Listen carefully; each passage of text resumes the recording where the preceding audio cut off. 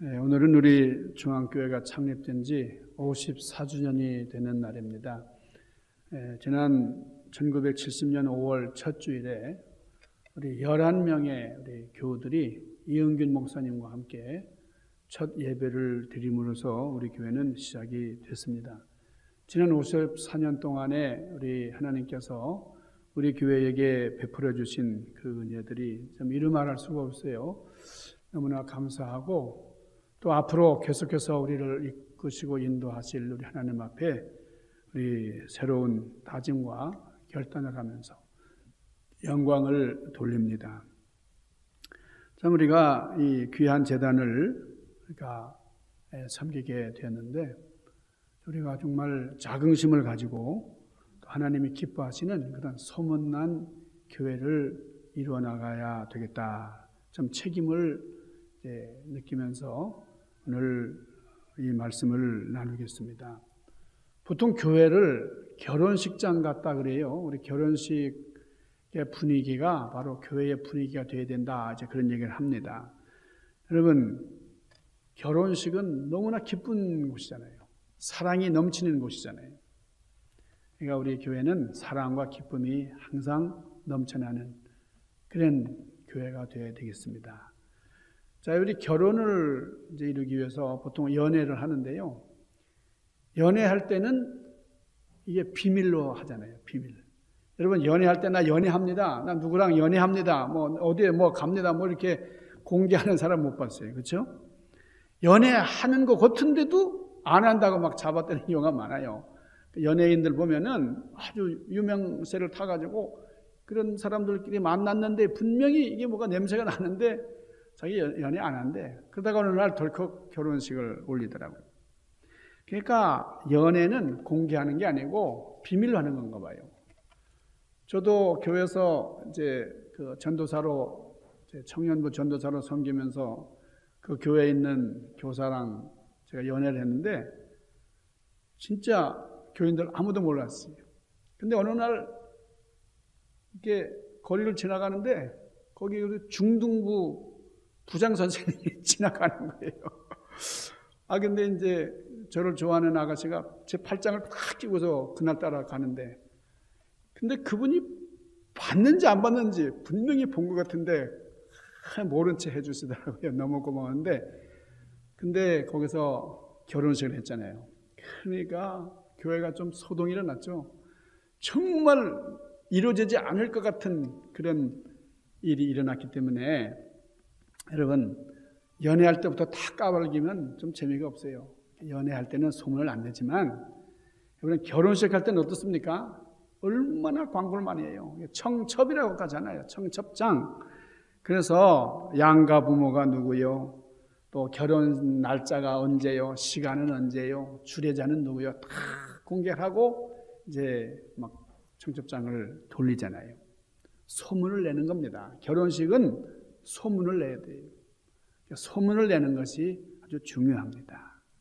그러니까 소문을 잘 내야 결혼식이 성대하게 돼요. 아, 그 신랑감 참 괜찮은 사람이래요. 그 신부가 또 대단한 사람이래. 막 이렇게 소문이 나야 그 결혼식이 참 빛이 나는 거죠. 여러분, 교회는 무슨 분위기예요?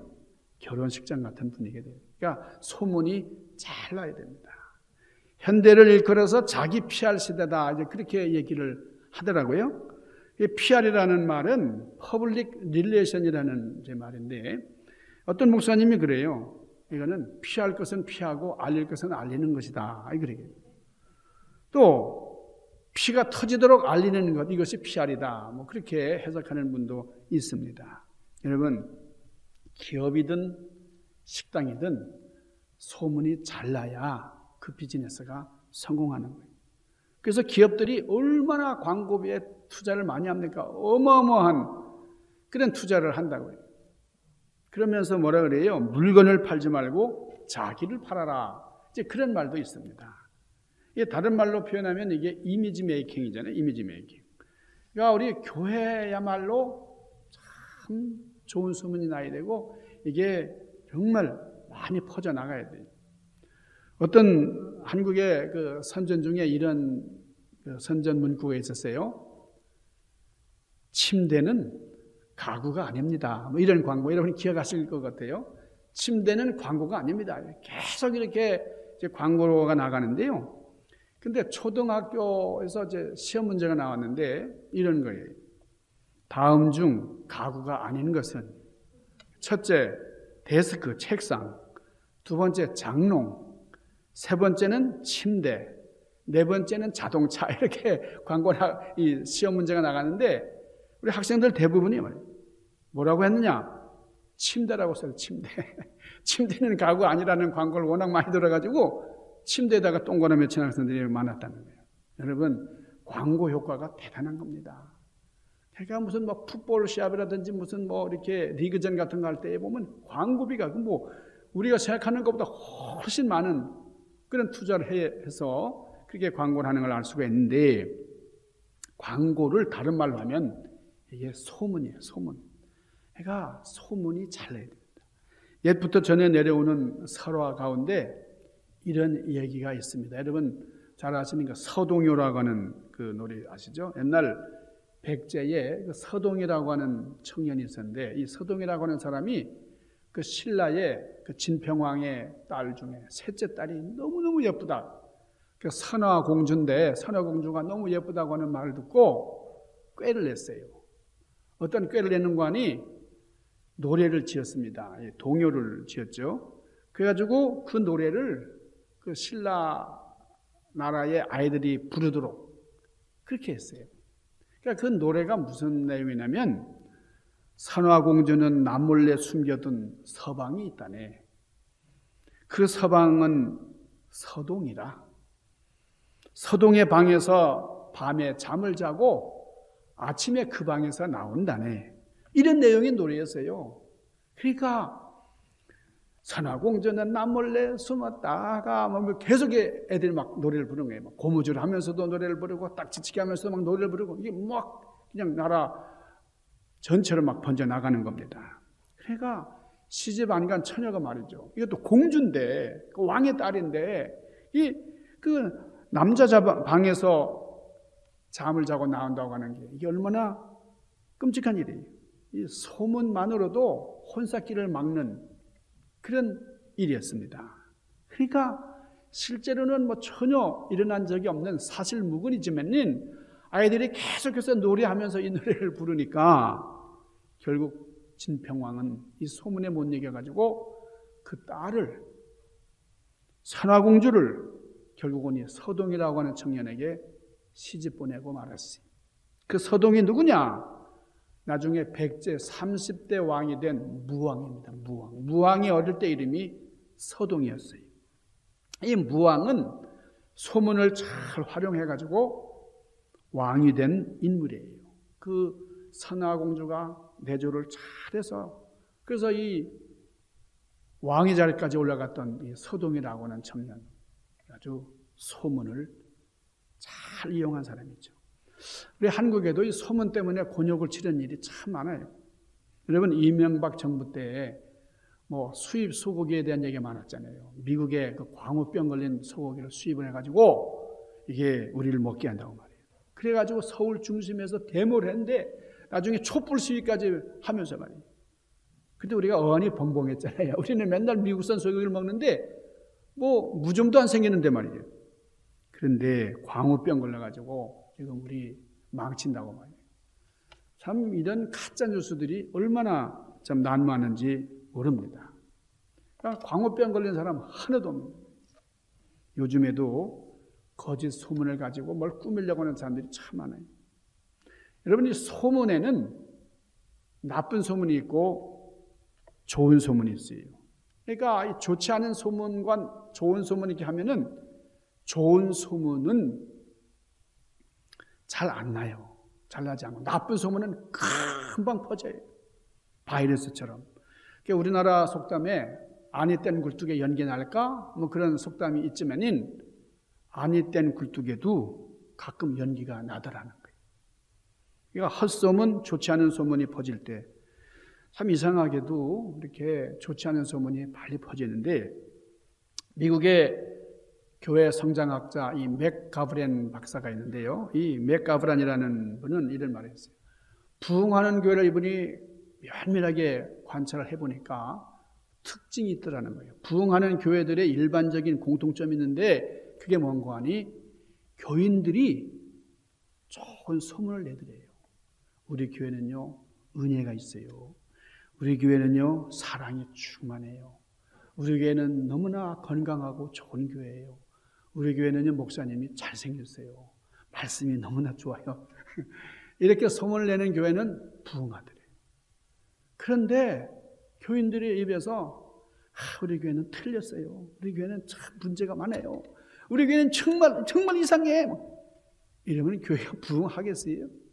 부흥하려고 하다가도 꺼지고 말겠어요. 여러분, 이 교회 성장학을 연구한 박사가 그런 진단을 했습니다. 교인들의 입에서 좋은 소문을 내면 교회는 자연 증가하더라. 교회는 자연적으로 부흥하더라. 자동차를 사는 고객의 57%가 입소문을 듣고 오더래. 그러니까 우리가 광고를 많이 내는 것도 중요하지만 사람들의 입소문보다는 못하다라는 겁니다. 영화도 그래요. 영화. 영화를 선택하는 사람들도 53%가 입소문을 듣고 결정을 한다 그래요. 그러니까 소문 중에 최고 소문이 입소문이에요. 내가 이게 입으로 이렇게 예, 소근되고 조절되고 하는 일 이게 너무나 중요한 거예요. 우리 성도들도 한번 우리 교회 소문을 다 이렇게 내신다고 하면은 우리 교회가 부흥할 줄로 믿습니다. 이 데살로니가 교회 오늘 본문 말씀을 보니까요. 이 데살로니가 교회에 대한 소문이에요. 그게 어디까지 났냐? 그러므로 너희가 마게도냐와 아가야에 있는 모든 믿는 자의 본이 되었느니라. 주의 말씀이 너희에게로부터 마게도냐와 아가야에만 들릴 뿐 아니라 하나님을 향하는 너희의 소문이 각처에 퍼졌으므로 우리는 아무 말할 것이 없노라. 사도 바울이 오늘 이 교회를 향해서 편지를 쓰면서 이런 얘기를 한 거예요.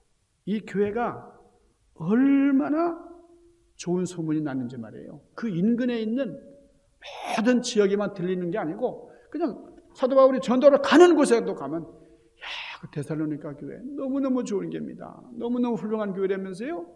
아니 바울 선생님이 개척하셨다면서요. 막 이러니까 사도 바울이 너무너무 기쁜 거죠. 이게, 이게 사도 바울이 이 데살로니가 교회 이 지역에 머무르면서 오랫동안 사역한 게 아니에요. 그러니까 그게 오래되지 않은 잠깐 동안 머무르면서 교회 개척을 했는데 아 교인들이 얼마나 신선한지 이 교인들에 대한 이 데살로니가 교회에 대한 소문이 이렇게 평판이 좋았다는 거예요.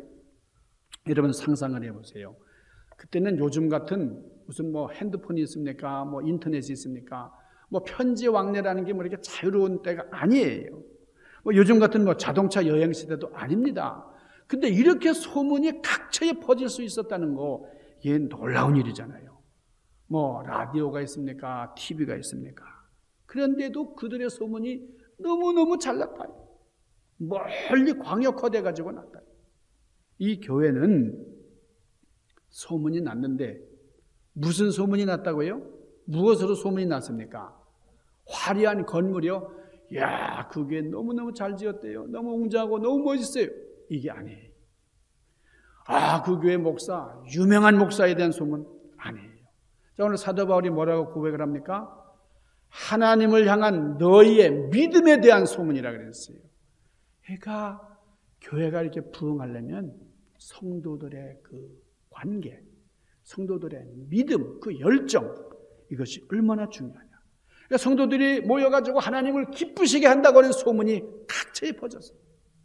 그래서 교회가 부흥했다.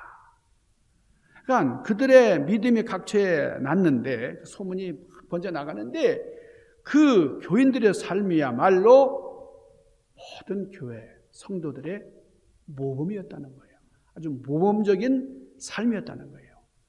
그러니까 교회의 부흥이라는 것은 그 교회 교인들에 대한 소문, 그것의 주변에 어떻게 나느냐에 따라서 좌우된다 하는 겁니다. 사람들이 교회를 정할 때 얼마나 심사숙고합니까? 우리 집 사람이 오늘 그 새로운 분들 두 분을 이제 모시고 오- 오기로 약속을 했어요. 지금 안 오신 모양이죠? 안 오신 거 보니까 이야 이게 한 분 전도하기 얼마나 오는지 몰라요. 이분이 3년 전부터 오신다고 한 분이에요. 그러니까 이번 오늘은 반드시 온다고 해서 저는 뭐 틀림없이 와서 두분 이렇게 빈 자리라도 좀 채우시겠구나 이제 그렇게 했는데 우리 쌤이 저렇게 안절부절 하는 거 보니까 아 못 오시나 보다. 여러분 교회 한번 이렇게 결정해서 교회 한번 새롭게 모시고 온다는 게 보통 어려운 일 아니에요. 얼마나 심수석거예요. 아, 그 목사님 설교는 괜찮나? 설교 들어보고 말이에요. 성도들의 모습도 살펴보고 말이에요. 교회 분위기도 살펴보고 말이에요. 주변 사람들의 얘기도 들어보고 그렇게 해서 어렵게 어렵게 결정을 합니다. 그러니까 이 교회 교인들을 이렇게 좀 모시고 정착하게 하기까지는 굉장한 수고가 필요한 거죠. 그러니까 거기에 가장 중요한 기본 전제되는 것이 바로 좋은 소문이에요. 좋은 소문. 자, 자기 딸 선화공주에 대한 소문이 좋지 않게 나니까 여러분 이게 사실이 아닌 걸 왕이 알았어요. 우리 딸이 그렇게 불륜을 저지를 그런 아이가 아니라는 걸 알았지만은 이 왕이 그 소문을 수습하기 위해서 서둘러 이 서동이라고 하는 청년과 결혼을 시켰던 것처럼 여러분 오늘 우리 교회를 향한 좋지 않은 소문이 있다고 하면 이게 진실이든 아니든 이걸 바꾸기 위해서 우리가 노력을 많이 해야 돼요. 어쨌든 소문이 좋게 나야 이게 부흥을 하는 겁니다. 바울은 환란 가운데서 믿음을 지켜오니 데살로니가 교회가 얼마나 아름다운가. 교우들을 칭찬하는데 그냥 침이 마르도록 칭찬하는 거예요. 야, 너희들 이렇게까지 평판이 좋아.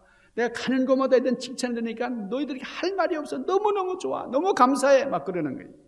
자, 그러면 바울은 데살로니가 교회의 어떤 면을 그렇게 칭찬을 하고 있습니까? 자, 첫 번째로 3절에 보니까 바울이 데살로니가 교인들을 위해서 기도할 때마다 내가 너무너무 감사하다. 하나님 아버지 앞에 엎드려서 기도할 때마다 감사하는 것은 너희들의 믿음과 너희들의 사랑과 너희들의 소망하는 그 덕목 때문이다. 그랬어요. 그러니까 이 대서리가 교인들의 그 믿음과 사랑과 이 소망이라고 하는 것은 사람들 앞에 보여지는 외식적인 일이 아니라 하나님을 향한 하나님 앞에 이루어진 아주 신실한 사역이다 하는 겁니다. 자, 첫 번째는요. 이 데살로니가 교회에 뭐예요? 믿음의 역사가 소문이 나고 있었다는 거예요. 믿음의 역사. 너희의 믿음의 역사가 대단했다. 그렇습니다. 여러분, 이 데살로니가 교인들은 믿음의 역사예요. 여러분이 역사라고 하는 말은 이게 에르군이라고 하는 말인데 이게 행위, 행동하는 걸 말하는 거예요. 실천하는 걸 말하는 거예요. 그러니까 여러분 믿음이라는 게 구원의 조건이지만은 그 믿음이라는 건 행동은 없이 그냥 입으로만 하는 그런 믿음이 아니에요.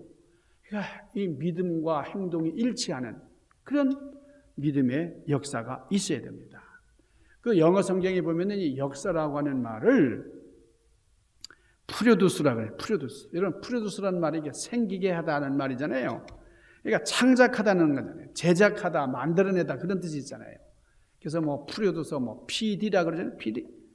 그래서 방송국의 이 PD 그러면은 이거 뭐 제작하는 그런 사람, 만들어내는 그런 사람들을 말하는데 여러분 이 대선과 교인들은 믿음을 만들어내는 사람이야. 믿음을 제작하는 사람들이단 말이에요.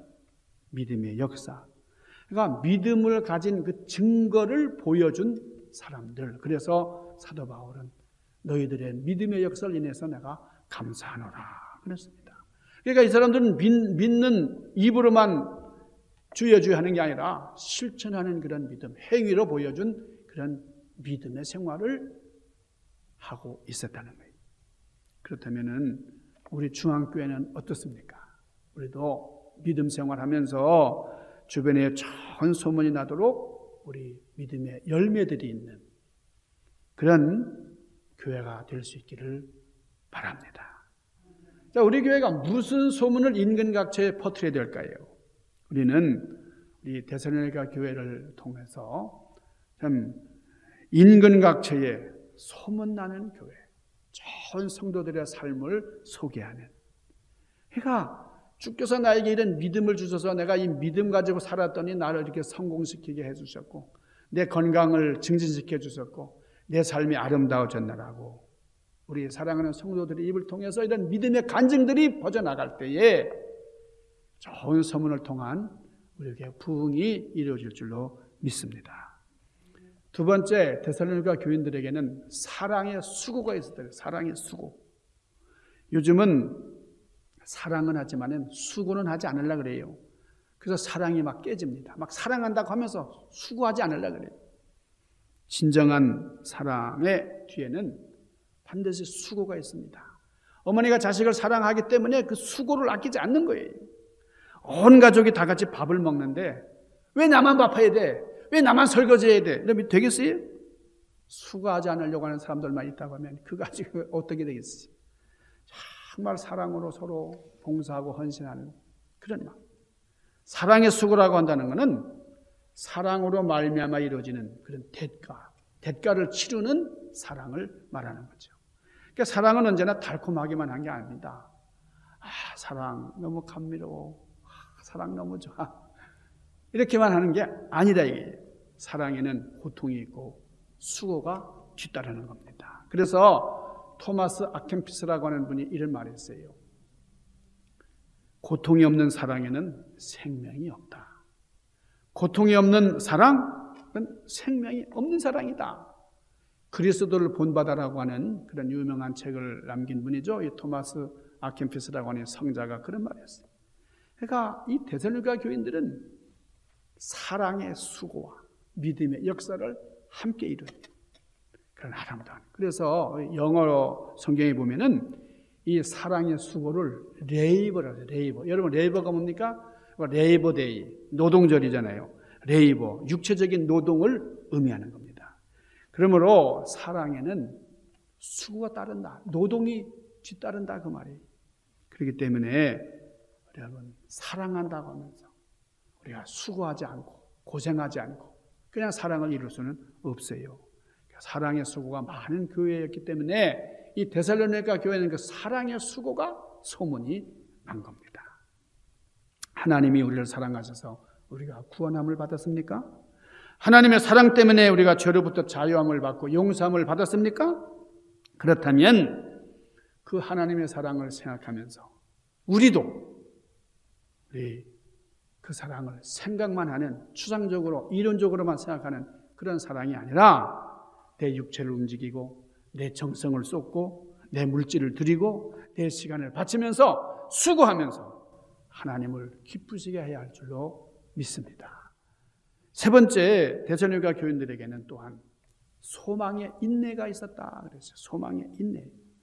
대선교가 교인들은 모든 소망을 주님께만 두었어요. 그리스도에게만 소망을 두었습니다.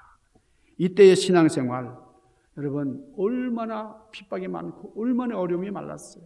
지금 우리가 살고 있는 이 시대와는 너무나 달라요. 그 로마의 그 압제 속에서 믿음 생활을 한다는 건 정말 목숨 걸고 하는 거예요.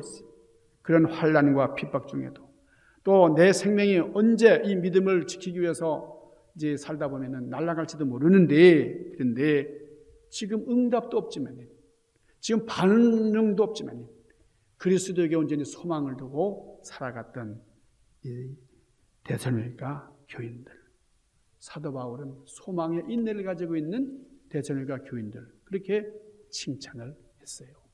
여러분, 우리에게는 누구에게든지 인간들은 소망이 있습니다. 소망을 가지고 살아가요. 그런데 그 소망 중에 가장 복된 것은 하나님을 향한 소망입니다. 하나님을 향한 그런 아름다운 소망의 인내를 가진 교회. 그래서 대선로니가 교회는 너무나 아름다웠다는 거예요. 여러분, 행위가 따르지 않는 믿음, 수고 없는 사랑, 인내하지 못하는 소망은 빛 좋은 개살구 그런 추상적인 관념에 불과합니다.